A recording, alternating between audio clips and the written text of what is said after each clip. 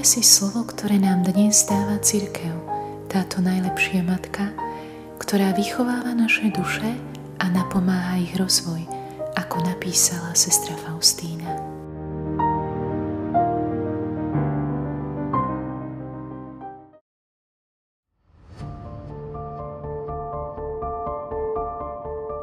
Tým, čo si namýšľali, že sú spravodliví a ostatnými pohrdali, povedal Ježiš toto podobenstvo.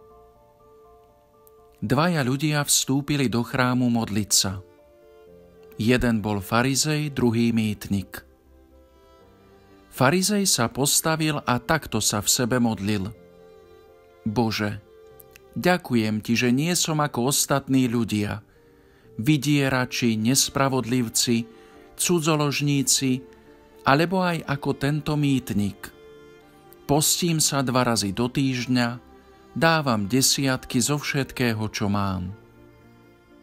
Mýtnik stál celkom vzadu a neodvážil sa ani oči k nebu zdvihnúť, ale bil sa do prs a hovoril Bože, buď milostivý mne hriešnemu. Hovorím vám, tento odišiel domov ospravedlnený a nie tamten, lebo každý, kto sa povyšuje, bude ponížený a kto sa ponižuje, bude povýšený.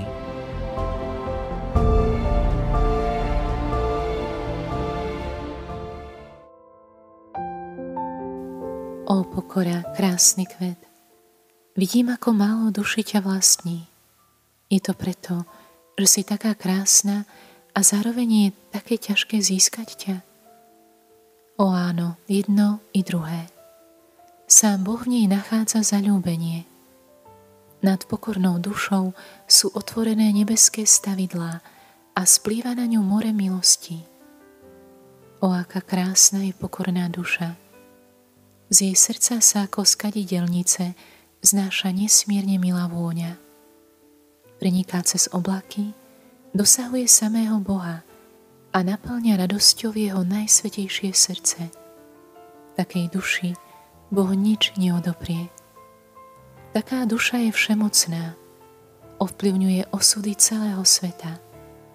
Takú dušu Boh povyšuje až k svojmu trónu. Čím väčšmi sa duša ponižuje, tým väčšmi sa Boh k nej skláňa.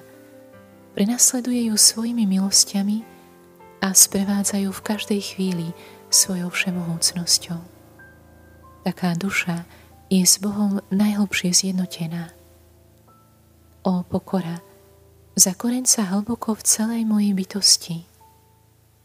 O Pána najčistejšia, ale i najpokornejšia, pomôž mi nadobudnúť hlbokú pokoru.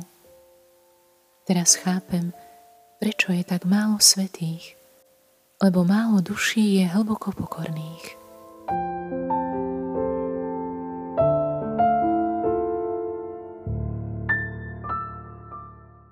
Poprosím Ježiša, aby mi dal pokorné srdce.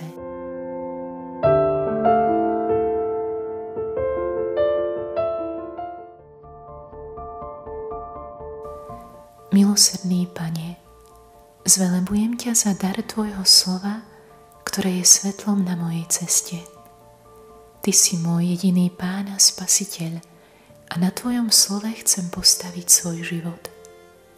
Ďakujem Ti, že mi posielaš svojho ducha, aby predo mnou otváral ukryté poklady.